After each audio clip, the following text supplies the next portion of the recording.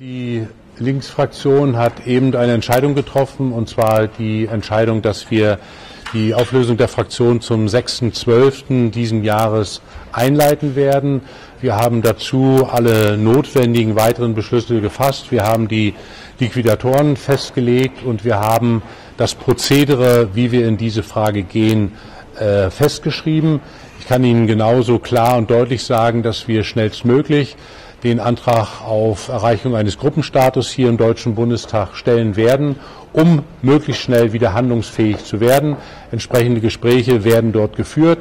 Mit Sicherheit ist das heute für uns alle kein schöner Tag, aber es ist gleichzeitig die Chance für einen Aufbruch. Diesen Aufbruch wollen wir gemeinsam gehen und unsere Aufgabe als die linke Opposition im Deutschen Bundestag, auch wenn die Liquidation begonnen ist, schnellstmöglich wieder wahrnehmen.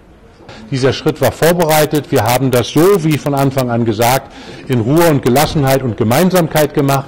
Wir können jetzt mit Entschlossenheit in den Bundesparteitag gehen und werden dann in der Haushaltswoche nochmal sehr deutlich unsere Position als Linksfraktion darlegen. Und dann beginnt der Prozess, den wir alle vermeiden wollten. Aber er ist nun unumgänglich geworden, weil es haben sich andere entschieden. Die tragen die Verantwortung, dass die Fraktion nicht mehr als Fraktion existiert.